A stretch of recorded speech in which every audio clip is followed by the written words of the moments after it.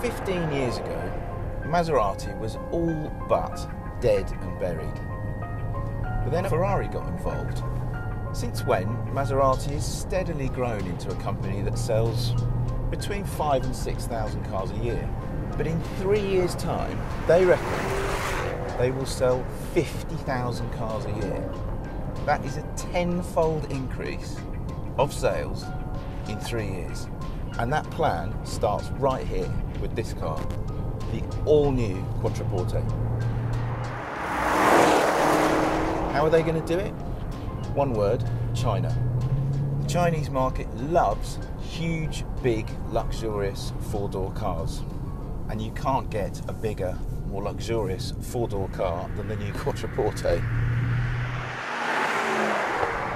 And although it looks remarkably like the car that they made nine years ago, it's actually brand new from the wheel nuts up.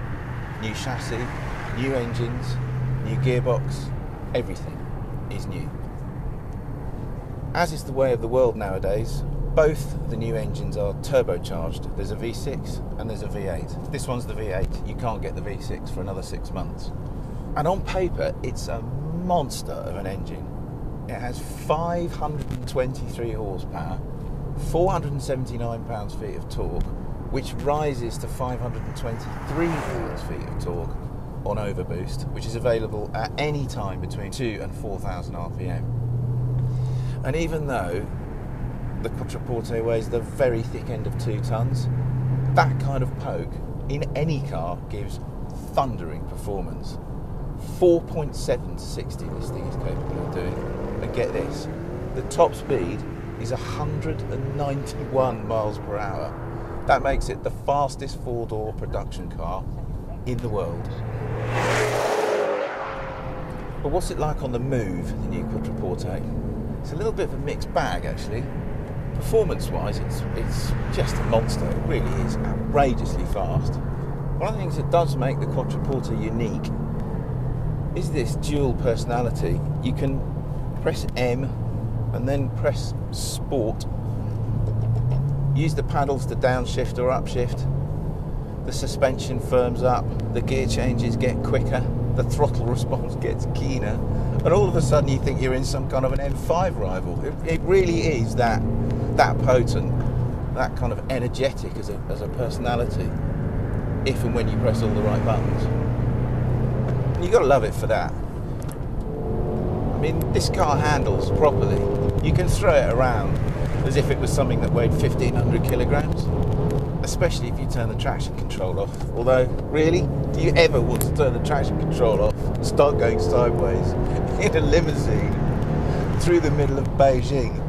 Um, mm. But that's a Maserati for you, they say.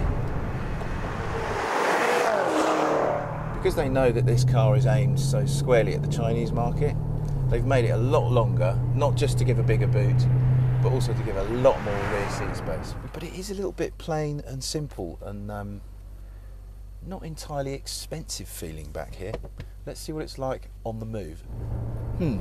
First thing you notice is that there is a lot of road noise for a limousine. There's also quite a lot of throb from the exhaust which is great if you're an enthusiast, but maybe not so much if you're a diplomat that just wants to chill out in the back seats. Also, the ride isn't good. It's lively. It's noisy. So overall, it's a very good car, the Quattroporte.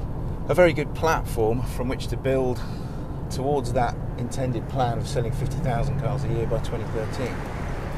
But before we declare it the new class champion, I think we should compare it, well, with um, the current class champion. The current best in class, of course, is the Jaguar XJ. Not necessarily this particular version, which is the full house V8 supercharged long wheelbase one that costs 95 grand. But that still makes it £15,000 cheaper than the Maserati. And do you know what?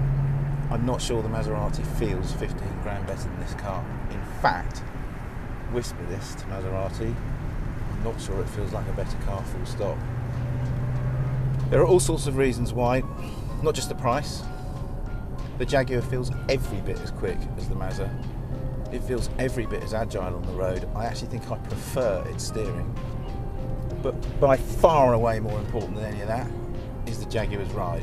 It rides properly, like a proper limo should. The Maserati doesn't, and I think they've made a bit of a mistake with it from that point of view.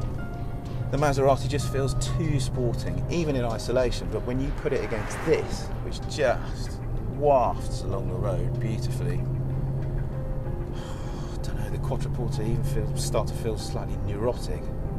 So, overall conclusion, Maserati, great car, but not quite as good as it gets. Not yet, anyway.